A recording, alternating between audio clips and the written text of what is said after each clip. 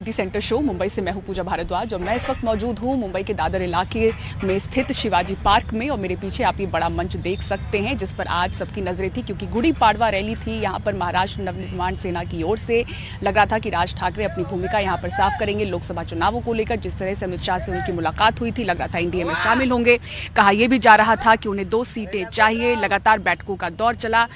एक नाथ शिंदे से भी उन्होंने मुलाकात की और आज इस सभा में उन्होंने बड़ा ऐलान किया है। उन्होंने कह दिया है कि बिना शर्त वो समर्थन करने वाले हैं। नरेंद्र मोदी को उनके शब्द ये थे कि वो बीजेपी को, शिवसेना को, एनसीपी को समर्थन नहीं कर रहे। पीएम नरेंद्र मोदी को उनका सीधा समर्थन है लोकसभा चुनावों के लिए।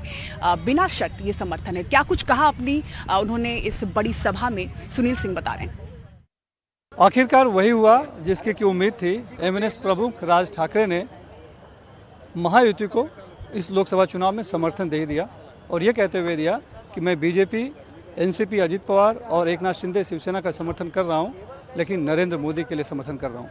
क्योंकि राज ठाकरे का ये मानना है कि देश में आज सबसे ज़्यादा नौजवान हैं और ये जो लोकसभा चुनाव है, ये देश का भविष्य बदलने वाला है। और अगर इसमें सही नेतृत्व तो नहीं मिला तो आगे जाके अराजकता अराजकता फैल सकती है। और जो नौजवान हैं, उनके लिए शिक्षा, रोज़गार और बाकी जो सुविधाएँ अगर कोई दे सकता है तो बकौल राज ठाकरे वो नरेंद्र मोदी ही दे सकते हैं। इसीलिए उन्होंने ये फैसला लिया है और ये भी साफ़ कर दिया उन्होंने कि वो इसके बदले में कुछ नहीं ले रहे हैं। न तो लोकसभा की कोई सीट मांग रहे हैं, न तो राज्यसभा की कोई सीट मांग रहे हैं और न ही विधानसभा विधान परिषद की सीट मांग रहे हैं। लेकिन ये ज़रूर कहा कि अपने समर्थकों को कि विधानसभा के चुनाव के लिए तैयार रहिए। यानी कि आज जो समर्थन दे रहे हैं, उसके पीछे कहीं ना कहीं विधानसभा में उन्हें मदद मिलेगी। एक संकेत ज़रूर उन्होंने दे दिया है और उन्होंने कहा कि तैयार रहिए। हालाँकि उन्होंने स्पष्ट किया कि मीडिया की तरफ़ इशारा करते हुए बोलने की, बोलने के दौरान कि किसी से मिलने जाओ तो ये कुछ भी अपने मन से कल्पना करके कहानी बना देते हैं और हर जगह पीछे लगे रहते हैं, जबकि सच्चाई कुछ और होती है। और उन्होंने ये भी कहा कि मिलना मिलाना कोई, में कोई बुराई नहीं है। वो अमित शाह से मिलने गए थे। क्यों गए थे? ये इन्होंने सिलसिलेवार तरीके से समझाया क्योंकि जो राज्य के मुख्यमंत्री हैं, एक नाथ शिंदे, वो जब, वो भी जब इनसे मिला करते थे, तब कहते थे, हम सबको मिल के काम करना चाहिए। गृह गृह मंत्री देवेंद्र फडणवीस मिलकर जब मिलते थे तब कहते थे, मिलकर काम करना चाहिए। लेकिन क्या करना चाहिए, ये स्पष्ट नहीं हो रहा था। लिहाजा इसके लिए अमित शाह के पास गए और तब वहाँ जाके शायद उनकी कुछ बातें साफ़ हुई होगी। हालाँकि उनके बीच में क्या बात हुई, बहुत स्पष्ट तौर पर उन्होंने नहीं कहा। उन्होंने यही कहा कि जो भी बातें हुई है अमित शाह और मेरे बीच, वो सिर्फ़ मुझे पता है, लेकिन मीडिया कुछ भी चला रही है।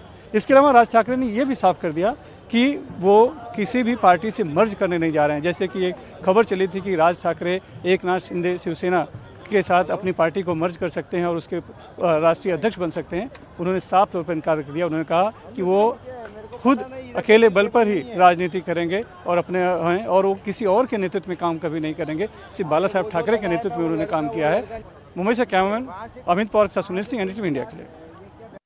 और अब आइए बात करते हैं महाराष्ट्र के विपक्षी गठबंधन महाविकास अघाड़ी की, जिन्होंने 23 बैठकों के बाद दिल्ली में आला कमान के साथ हुई मुलाकातों के बाद आखिरकार सीटों पर फॉर्मूला अपना साफ़ कर दिया है। लेकिन इस सब के बीच उद्धव ठाकरे ही बड़े भाई नज़र आ रहे हैं। सबसे पुरानी पार्टी होने के बावजूद कांग्रेस ने क्या पाया? आखिर जिन सीटों के लिए वो अड़ी हुई थी, फ्रेंडली फाइट की बात कर रही थी, उन सीटों की कुर्बानी कांग्रेस ने क्यों दे दी?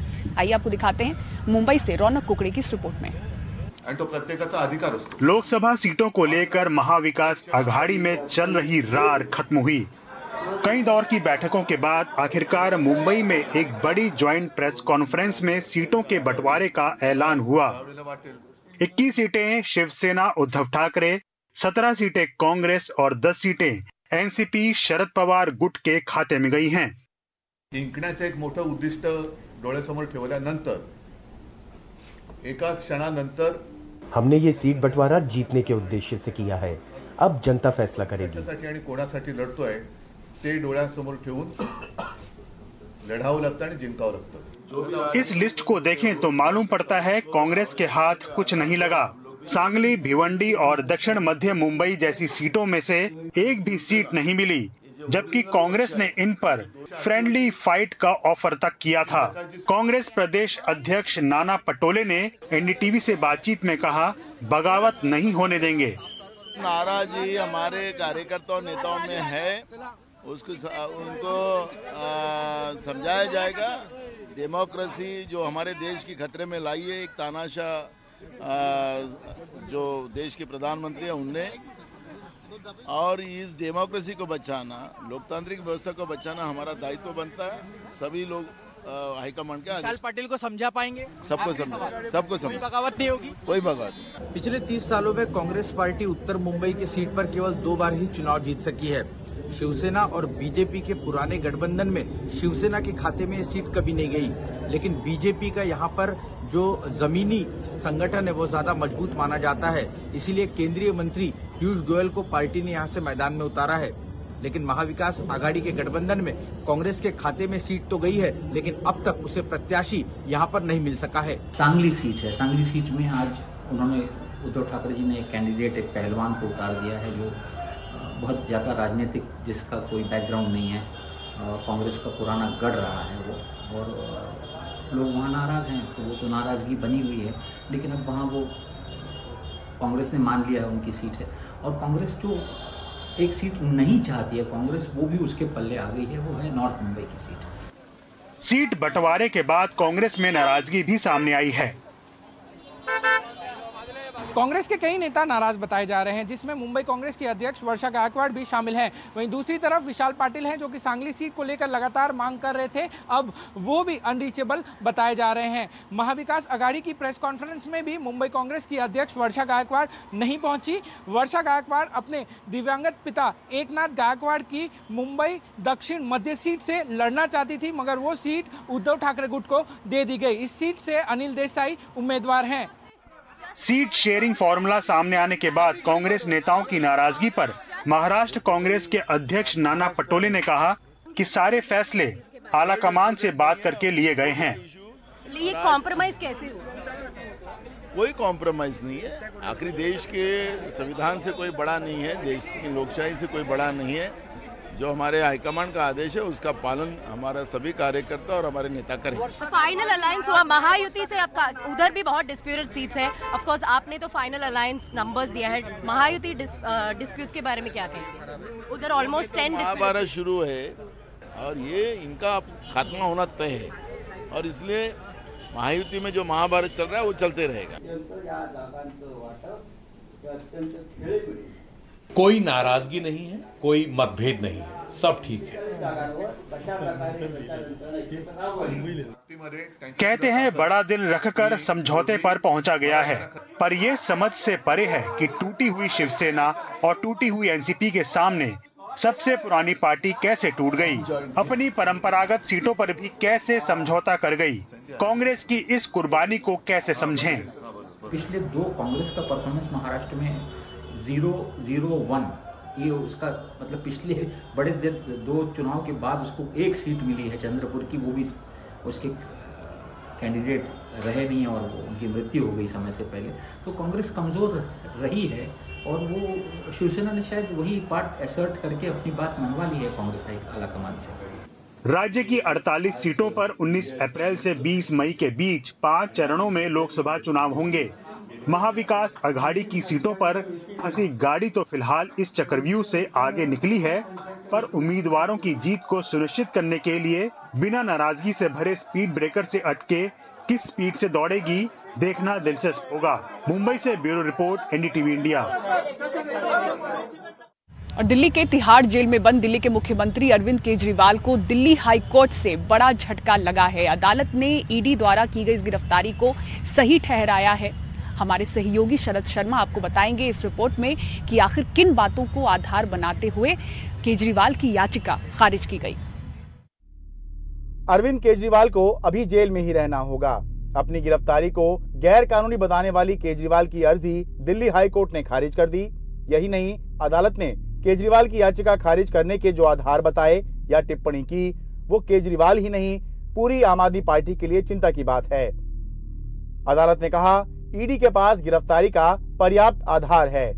ईडी ने कहा कि पैसों का इस्तेमाल गोवा कैंपेन में हुआ। ईडी ने आपके गोवा उम्मीदवार का बयान दिखाया।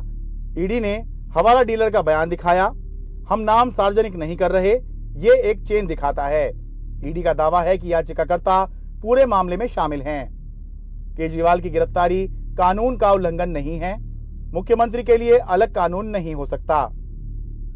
आम आदमी पार्टी का कहना है कि पूरा केस केवल आरोपी से सरकारी गवाह बनने वाले लोगों के बयान पर आधारित है, जो बयान डरा धमकाकर और मारपीट कर लिए गए।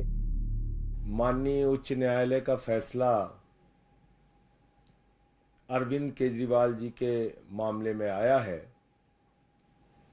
लेकिन जैसा पिछले कई दिनों से लगातार मैं कह रहा हूँ, मैं फिर उस बात को दोहरा रहा हूँ पूरी मजबूती के साथ और ज़िम्मेदारी के साथ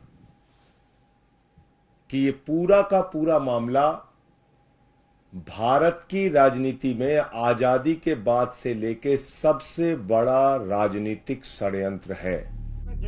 हाईकोर्ट के आदेश और टिप्पणियों ने बीजेपी को केजरीवाल को घेरने का मौका दिया। हम ये बात साफ़ कहना चाहते हैं कि इंडिया अगेंस्ट करप्शन की अन्ना क्रांति से शुरू हुआ आंदोलन। आज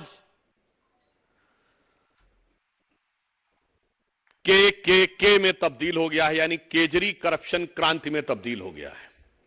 एक दशक के अंदर इतना बड़ा पराभव संभवतः भारत की राजनीति में कभी देखने को नहीं मिला होगा। अरविंद केजरीवाल को ईडी ने 21 मार्च को दिल्ली शराब नीति मामले में उनके घर से गिरफ़्तार किया था। एक अप्रैल से केजरीवाल तिहाड़ जेल में बंद हैं। आम आदमी पार्टी दिल्ली हाईकोर्ट के फैसले को सुप्रीम कोर्ट में चुनौती देगी अब जब तक सुप्रीम कोर्ट से कुछ अलग आदेश ना आ जाए या फिर कुछ ऐसा आदेश ना आ जाए जो आम आदमी पार्टी अरविंद केजरीवाल के पक्ष में जा रहा हो, तब तक दिल्ली हाई कोर्ट का आज का आदेश अरविंद केजरीवाल और आम आदमी पार्टी के लिए चिंता का सबब बना रहेगा आम आदमी पार्टी या अरविंद केजरीवाल के लिए फ़िलहाल खुश होने वाली बात या थोड़ी सी राहत वाली बात यही हो सकती है कि संजय सिंह की जमानत याचिका पर जब दिल्ली हाई कोर्ट ने सुनवाई की थी और यही जज उस सुनवाई को कर रही थी तो उन्होंने कड़ी टिप्पणी करते हुए संजय सिंह की जमानत याचिका खारिज कर दी थी। लेकिन जब सुप्रीम कोर्ट में जमानत याचिका पहुँची तो ईडी की तरफ़ से बहस शुरू भी नहीं हो पाई और संजय सिंह को जमानत मिल गई। दिल्ली से अपने कैमरा सहयोगी पवन कुमार तिवारी के साथ मैं शरद शर्मा, एनडीटीवी इंडिया। बेंगलुरु के लोगों ने घरों को बनाने के लिए झीलों को नुकसान पहुँचाया तो सरकार ने इंफ्रास्ट्रक्चर विकसित करने के लिए पेड़ों की कटाई की। और नतीजा ये है कि शहर का तापमान अपने पुराने सभी रिकॉर्ड्स तोड़ता हुआ दिख रहा है। लोगों को किस तरह से परेशानी हो रही है? निहाल किदवई की बेंगलुरु से ये रिपोर्ट देखिए।